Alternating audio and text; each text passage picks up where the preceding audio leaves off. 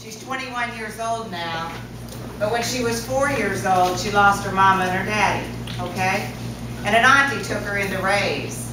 And then she started going to the Louisville Central Community Center, which is a place like this, very much like this. And she was probably, how, how old are you? Seven. So by the time my little friend was seven years old, your age, she was dancing. She was dancing all around the center, just like you were this morning. And then the next thing you know, she was taking ballet classes at the Louisville Ballet School. And then she danced in the Nutcracker Ballet. Well, she studied really hard. That's the most important thing I can say to you today. Akira studied really hard. She read her books. She worked hard in ballet. And then she learned to play the violin. Yes, when she was in high school. She went to Manual High School. And when she graduated from high school, she got a full college scholarship, just like Mariah. Mariah has a college scholarship right over here. Give her a round of applause. So my friend Akira got a college scholarship and went to New York City. Everybody go, ooh ah. Ooh ah. So now Akira is in New York City and she is dancing. And we have a picture of the dance studio where Akira is. And if you look, you can see the buildings behind out that window in downtown New York City. Which one is it? All right, now, Akira is in the class, and her, she's over here, so she's cut out of the picture. But we know she's there because I've seen it. So Akira is studying in college. She's dancing with the Alvin Ailey School of Dance. It's the number one dance academy in the entire world. Really? Yes. Message from a friend of mine at the Kentucky Center for the Arts. You know where that is, over on Main Street, right? My friend said that Akira is in France and she's going to Finland this summer to dance with the people of the Alvin Ailey School of Dance. Why? Because she came to a place just like this when she was little, like some of you. She came every year. She came after school. She came in the summer. She worked really hard. You know, I think about the song Amazing Grace that I asked you all to sing for me. And I want to tell you, the first time I heard it, I was in Sunday school. Just like the first time many of you heard that. What? Don't you love to go to Sunday school? That was where I always felt safe. And I learned that song. And then I heard it again. I was at the football stadium. How many Cardinal fans do we have in the room? Yes. So I was at the football stadium one afternoon, and there were no football players to be seen. There were no football coaches. But there were all these people that were there, and they came to hear a boys choir sing. Well, the boys choir sang some songs. Some of you know them. It's the West Louisville Boys Choir. Mariah was in the West Louisville Girls Choir. Well, at the end of this little concert, we were all finished and we were getting ready to leave. And a little fella about your size, how old are you? Seven. Well, I'm going to show you a picture.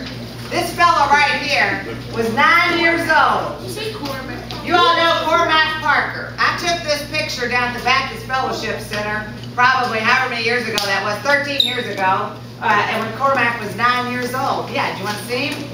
So he walks over to me, and the concert was over, just like our reading time is almost over, and he says, Miss Barbara, we have one more song that we want to sing to all these people. Can we do that? And I said, well, I'm sure you can. What is it? He said, it's a surprise. And he walked over, and he stood back in line. And all the young men were standing there, ages 8 years old, 9 years old, 15 years old, many of your all's ages, and they started singing Amazing Grace because they wanted to thank all the people that had come to hear them. Cormac stayed in a program just like this, in the summers and after school. Cormac sent me a picture of himself. Look at Cormac when he graduated from high school. You see? You're going to be there too. You're going to have your high school graduation picture someday. Then, I got one more picture to show you. I ran into a friend of mine. His name is O'Farrell Head. I met O'Farrell when he was a young man, about your all's age. You know the story. What did he do? He came to a program. Just like this. He came after. School. He came in the. Summer. Yes, we did pretty well that, didn't? All right. Work it. All right, now, O'Farrell had studied really hard, stayed in his after-school programs, And there he is with his picture with the president of the University of Louisville. Yes, Pres- President Ramsey getting his college degree. Yes, sir. What high school did O'Farrell go to? That is a great question. Manual. Did he go to Manual? All right. He went to Manual, same place Akira went to. But the point is, he worked really hard. Well, I got a phone call from O'Farrell a couple of days before the graduation was going to be, and he said, Miss Barbara, I'm so excited. I'm going to be graduating from the University of Louisville on Saturday. And I said, O'Farrell, that is so great. I'm so proud of you. I said, make sure you take a camera so somebody can take your picture. Said, well, who would be there to take my picture? And that made me really sad. And I said, well, where's Monique gonna be? That was his fiance. Oh, she'll be with me. I said, well, get her to take a picture.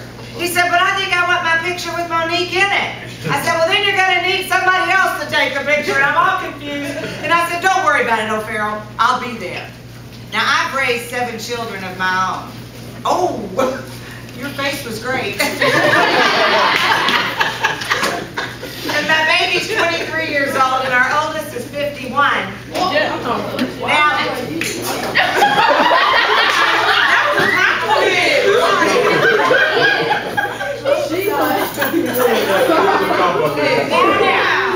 I didn't say, I, I didn't say that I carried all seven of them, I gave birth to all seven of them. But when you love a child and you put your arms around that child and you're there for that child and encourage that child through all of his or her days, all the way through their education, then I claim them as my children. These are my stepchildren, adopted children, and half-brothers and half-sisters.